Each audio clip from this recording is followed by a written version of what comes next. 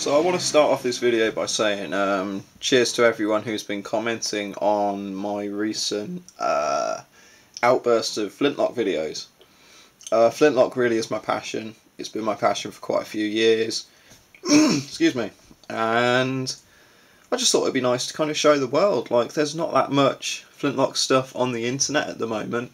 And it came up in the uh, Flintloque community that that was the case and I don't want that to be the case. So I want to help out in whatever way I can, and the way that I can is on YouTube. So if you know anyone who might be interested in this sort of game, please do try and get involved. It doesn't cost a lot to get involved, and yeah, let's try and support this game. It's quite an old one, but it's definitely had a modern boost recently. Okay, so I want to start off by talking to you about War in Catalucia which is the very first Flintloque uh, game book for the third edition of the Flintloque rules. So the way it works now is that you can buy uh, different source books. So there's War in Catalucia, Death in the Snow, and Beer and Bones, and there's a couple more that are planned. But um, each one of those has got all the rules and everything you need to play the games in them, except the models and dice and the table. Okay, but it's got all the rules and all that stuff.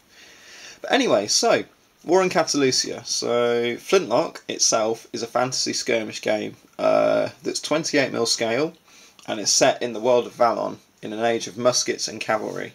So it's a fantasy world, but in between that you've got uniforms, you've got muskets, and a very, very, very strong Napoleonic flavour. Okay? The Ferach Emperor Mordred, who's a high elf, has overthrown his mother Morgana and started a campaign in Catalucia the home of the Dark Elves, and Al-Garvey, the home of the Goblins. Um, because of his attack on the Goblins, the Orcs of Albion, the oldest ally of the uh, Goblins, have decided to uh, get involved too. And as such, war breaks loose all over Valon. Okay? war in Catalucia is the first book in a series of books, just like I said, and it's published by Alternative Armies. Okay. So the book covers all the rules for the Catalucian campaign and, and the main rules themselves. So let's actually have a look inside, okay? So obviously it's written by Gavin Syme, a good friend of mine, and Michael White, who is a very, very big American fan of um, Flintloque. Okay?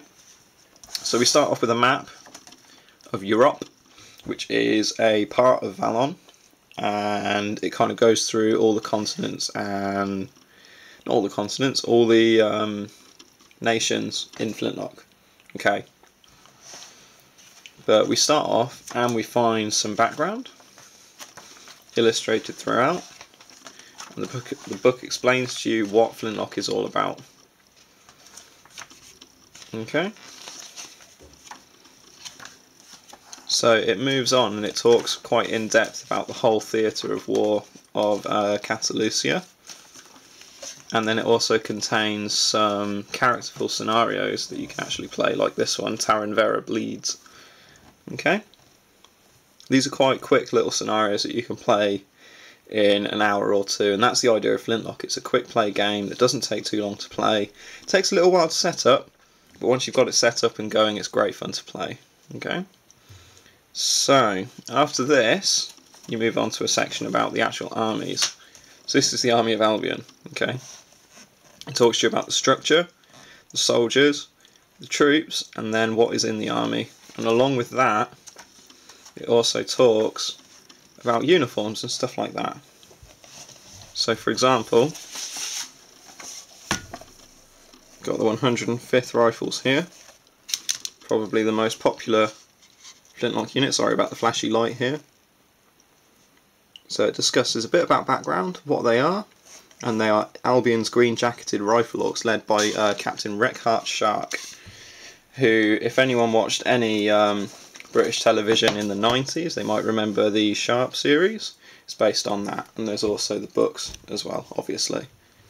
Okay, so obviously it does talk about uniforms, but those aren't an end all. You can make them up if you want. You can make up your own units. Um, we even had a competition on one of the groups a couple of years ago to invent our own unit, and we did that. Okay? So don't feel like you need to follow the uh, colour schemes and stuff. Anyway, So after that, if we move on, sorry, they're my notes. I don't like going off on a tangent, so what have we got? Here we go. So we've got a few more scenarios, big scenarios, and then we have got how to create a section. Okay, so a section is kind of the group of models that you will use in a game of Flintloque. Um, it talks about how to create characters and stuff like that. So um, you design your band of models, and each character within that band will have like individual characteristics, so traits, flaws, and skills. Okay, and then finally,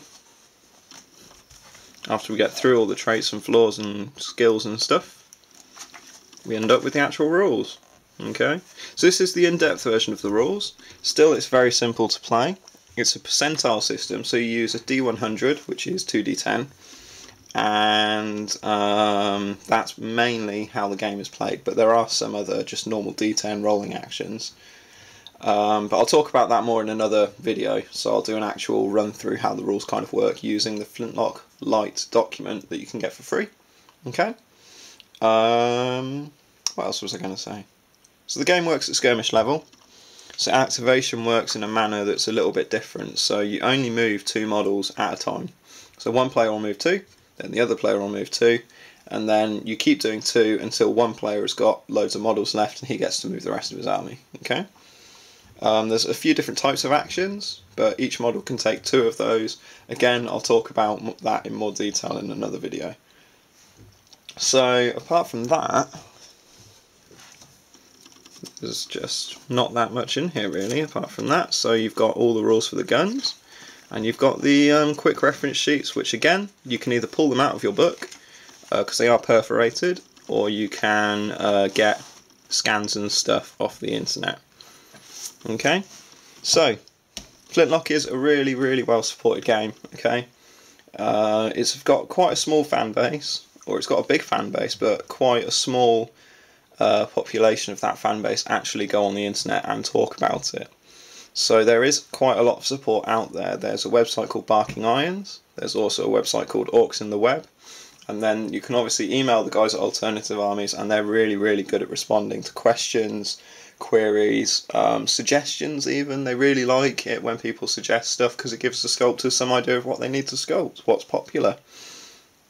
Um, but yeah, there's also the Notables Yahoo group which I go on quite frequently um, just because it's a great source of information for Flintloque and you often get the opportunity to playtest new stuff too so get on that it's, it's a great thing to be part of and it's good to have your say so um, should you want to get started with this um, you can either get this book and any models you want or you can get the shilling service packs which alternative armies do. So the book's £15 or the service pack is £30, which comes with the book, an insert on some scenarios on getting started in Flintloque, and six jockey and rat models like this guy, and five Ferach elf chasseurs, and one L'Esprit de Garde elf on a horse.